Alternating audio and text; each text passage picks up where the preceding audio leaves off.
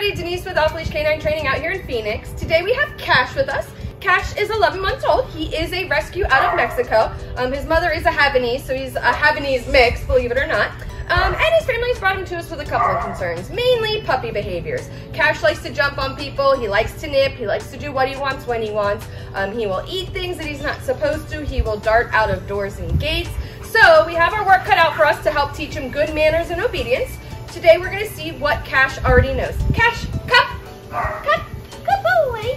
Sit, sit, sit, down, down. Thank you for sitting, down, place, place, place, heel, heel, heel.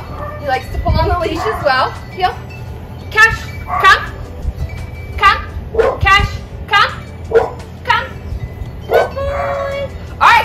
see, we have a lot of work to do. We look forward to showing you Cash's progress in 14 days. See you then.